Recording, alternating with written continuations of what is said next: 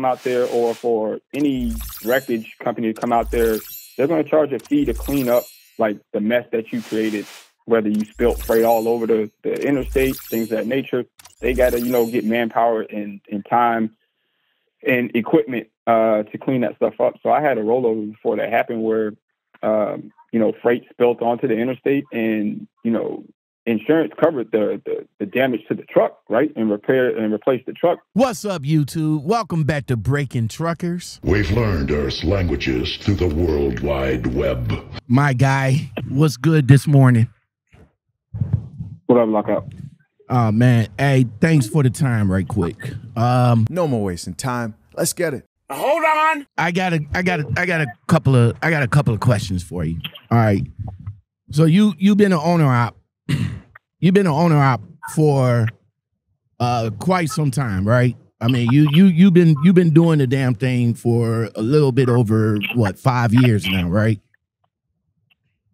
Yeah, I've been leasing. Uh, well, I mean, I, well, I was leasing. I now just run my fleet, but yeah, I mean, depends on who you ask if that's owner op or not. But yeah, leasing.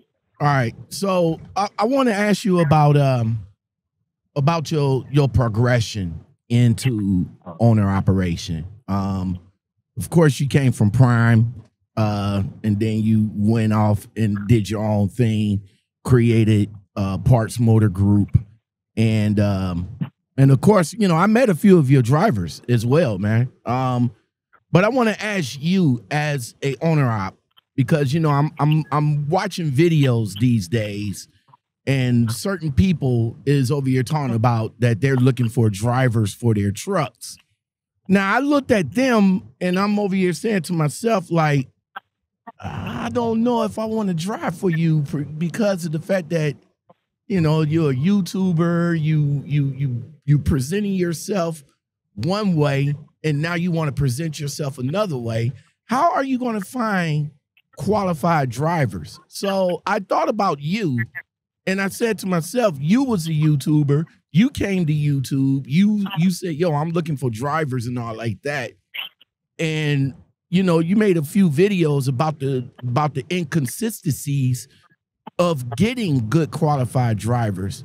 Loshawn, man, t- you know, talk to me and explain to me how hard and what was some of the things you went through as being a popular YouTuber looking for drivers to drive your fleet? Mm, well, I think it's I think it's hard in itself trying to find drivers uh, nowadays. Anyway, for the most part, um, whether whether you be a YouTuber or not, I think uh, for the most part, drivers are are looking for uh, the next big thing, if you will if that makes any type of sense.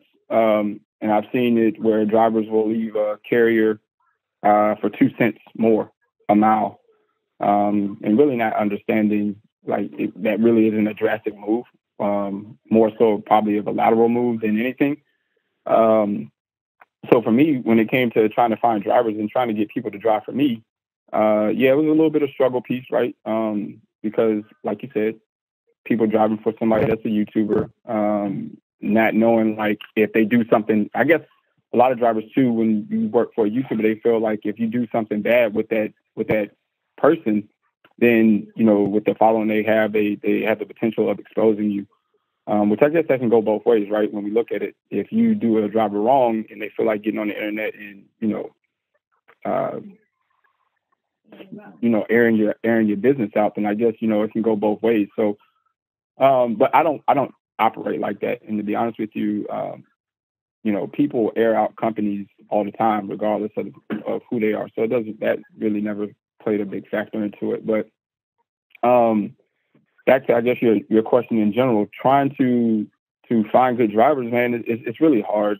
Um, you know, I, I guess what you can try to do is try. What I've come to find be trying to be successful with it is offering consistency uh, consistent paycheck, pulling for a consistent carrier, uh, having a consistent contract that keeps them constantly moving, or at least keeps them making a consistent paycheck, to where they're able to handle their bills. Um, a lot of companies, trucking companies, don't offer that. uh, or if they do offer it, it's it, they tell you one thing and it's a completely different story once they get there. But then once again, I look at that too as like it depends on the type of driver that you are. If you're a hustler, I think that you can go anywhere and be successful driving, right?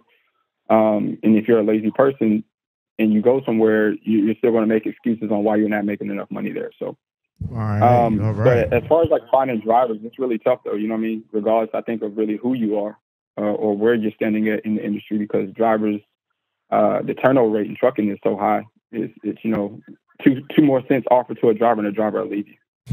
Now, Loshawn, you you mentioned the fact that you you know you had your own struggles with with getting drivers and having drivers to uh, drive for you. Um, some of which you know I follow. Uh, I followed uh, uh, you when you you know you was talking about it. Uh, one in one particular video that I seen you uh, that that I seen you in, you mentioned the fact that one of the drivers actually rolled your truck over, and you was you was explaining to the people how that affected your bottom line as far as getting the truck repaired or even getting it uh, totaled out with the insurance, and then you had a little bit of issues with that particular driver. What I mean, what what I mean when when drivers do stuff like that you know, tear up your truck, bring your truck, abandon your truck, and just leave you out in the wind. How hard is that for you to make all that up on the bottom line? Um, so yeah, it just depends. You know what I'm saying? Um, a lot of people don't understand about the the severity of rolling the truck over. Um, it's not just you know, a lot of people would think of it like, oh, well, you got insurance. That's what insurance is for. Insurance to, you know, total it out and pay for the truck, and you'll be good to go. You'll get a different truck. But um, when you deal with rollover situations, uh, particularly when you have freight in the truck, um, then you, there's a thing that that that goes untold about that. There's a cleanup fee to that shit too, right? Excuse me, I don't know if you're doing a show, but my yeah, apologies. yeah, yeah. No, no, you good, you good, you good. yeah uh, there's a cleanup fee to that. So uh, for DOT to come out there or for any wreckage company to come out there, they're going to charge a fee to clean up like the mess that you created, whether you spilt freight all over the, the interstate, things of that nature. They got to, you know, get manpower and, and time and equipment uh, to clean that stuff up. So I had a rollover before that happened where, um, you know, freight spilt onto the interstate and, you know, insurance covered the, the, the damage to the truck, right, and repair and replace the truck. But also there was a fifty thousand thousand dollar uh, fee for cleanup for them to come out there and clean all of the, the, the freight off of the highway and you know put it in a dumpster and stuff like that. So that little that little piece right there um, is, is detrimental to a bottom line, right? You're talking about fifty thousand dollars that you have to come out of pocket for that insurance doesn't cover um, to pay for you know cleanup for a uh, incident from a rollover. So it's it's stuff like that that isn't told in the trucking industry that drivers may not may or may not know, which I think most of them don't know that they don't. It, it's more to it than just the truck being rolled over and you thinking like, oh, it's all right, they'll repay it. I mean, they're re, you know they they got insurance and they'll repair, uh, replace the unit, but you're not realizing like the, somebody got to clean this crap up too. You know what I'm saying? And and it's a fee to that. And when you're at the the at the demise of somebody else uh, setting the prices on it, you're you're pretty much a victim to that. So yeah, that's that's one situation where I've had one of my trucks roll over, and um, you know, insurance didn't cover that cleanup of fifty thousand dollars. I had to come out of pocket for that. I, I know I know that hit you hard, and it is true. I you know I I'm, I'm an entrepreneur. I own my own uh, roadside business, and I understand that like one incident would pretty much bankrupt you. Like if I if I go and do a lockout on like an expensive car or something like that, one of them one of them five figures, six figures cars, and I go and do a lockout on it and I mess up the the locking mechanism, even though they know they they they should know that that's what's going might happen, but still they, they it, it still hits me because they're gonna they're going to go after my insurance. You know, the insurance is going to pay for it, but the insurance is going to go up on me and you know, and and that that company that I'm contracted with that sent me out there to do it, you know, they might not send me no more no no more calls because of that incident. That then that hits the bottom line. Like you know, I, I was let's just say I was making this type of money, and then all of a sudden, I'm I'm not making no type of money. How how did that hit you? Mhm. How how did that hit you financially, man? I mean, you know, those type of hits, uh, they hurt, especially when you're like a mom and pop. You're not a mega carrier. Um, you know, you don't have, uh, you know, a gajillion trucks out here on the road. You know, you got, you know, a small fleet, five to ten trucks. Um, one accident such of that nature or one setback like that can can really, you know, turn the company inside out and, and can cause bankruptcy. Uh, excuse me, cause bankruptcy. Um, luckily, we had the funding to be able to sustain that for us. But I'm be honest with you, if I didn't have the funding to sustain that situation at that time, yeah, that would have would have took taken me out. So, um, you know, it's where we speak about you know kind of being financial literate when running a business, being able to put back money for situations that that are going to occur. It's not if they're going to occur; it's when they're going to occur because they are going to happen uh, so that you are prepared for situations of that nature. Um, like I said, if I wasn't, if at that time, if I wasn't financially stable, uh, that would have been a detrimental blow to my business and could have potentially taken me out of business. Man, Loshawn, yo, bro. Thank you very much for the time, man. I really do appreciate it.